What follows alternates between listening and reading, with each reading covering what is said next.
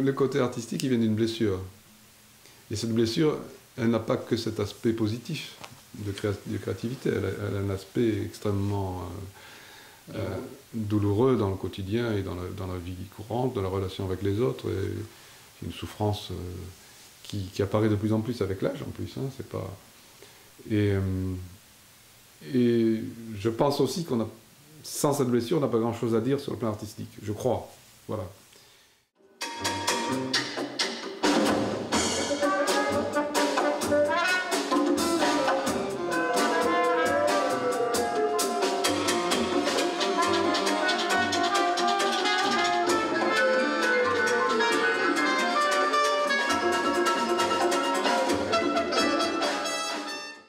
But, c'est l'authenticité, avant tout. Être vrai par rapport à soi, parce qu'en cherchant l'originalité à tout prix, on se perd. Donc, euh, ça, je- j'en suis à peu, à peu près sûr. Alors bon, faire de temps en temps de petites incursions, c'est hein, ma, façon d'être. hein. En dehors de soi, quoi. Voilà, faire des petites incursions pour, pour le dépassement. Voilà, comme, on, a- comme on, prend, on est sur un bateau, et puis on prend une chaloupe pour aller en reconnaissance, vois, puis on revient. Et ce qu'on a re- retrouvé, ben, on l'amène dans le bateau, hein, et ça, ça enrichit. Le... Voilà, je le vois plutôt comme ça, moi. Je ne vois pas on casse tout, et puis on. Pourquoi pas si, si, S'il y a des gens pour lesquels c'est le, le but de leur vie, si- si- s'ils sont authentiques en faisant ça, le, le- le tout c'est d'être authentique, je crois. Euh, par ce support hyper connu, hyper euh, fréquenté, ce support musical, c'est bâtir mon récit, mon récit euh, textuel. Hein. Donc euh, quand je je- bœuf à la rotonde, c'est bâti sur une grille de Charlie Parker qui s'appelle Scrapple from the Apple, pelure de pomme. C'est un truc hyper connu. J'ai récupéré là, mais je l'ai fait exprès, c'est fait exprès. C'est un bœuf à la rotonde, donc euh, je veux pas être dans un truc ésotérique. Donc je raconte mon histoire, hein, de- des mardis soirs où j'allais à la rotonde euh, euh, voir le bœuf, voir les grands qui faisaient le bœuf. Moi j'avais 14-15 ans. Et euh, j'ai bâti ça sur, sur, l'accompagnement de ce morceau, mais j'ai bâti une autre mélodie. Mélodie inspirée de celle-là quand même. Voilà.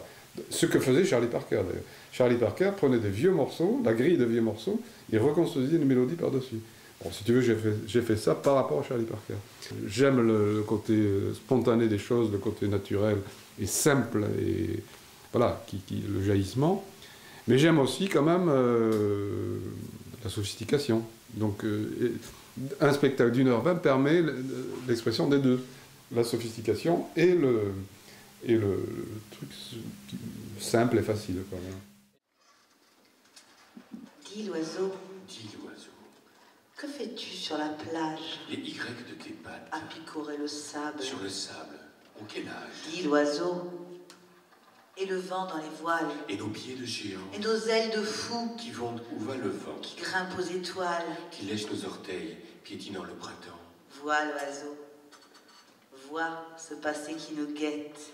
Et là-haut, dans le ciel, et qui claque du bec, les nuages coton qui égrènent le temps. Traçant une onde bleue. Sur la harpe arc-en-ciel. inondée de soleil.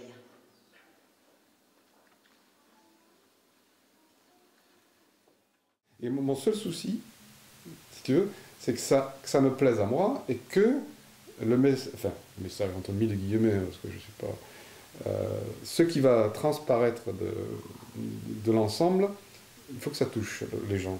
Il faut que les gens se sentent concernés et qu'ils comprennent, quoi, qu'ils comprennent de quoi il s'agit. Donc, bon, il y a une première création à Carcassonne, mais même pour Narbonne, il y a des choses qui vont être corrigées parce qu'il y a des choses qui ne sont pas passées. Euh, le dernier morceau qui s'appelle euh, Requiem, c'est un requiem à la mémoire des musiciens morts trop tôt. Et j'ai demandé après, les gens n'ont pas compris ça. Parce que avant, avant ce morceau, j'ai mis un, un texte qui est trop, euh, qui suggère mais qui dit pas assez.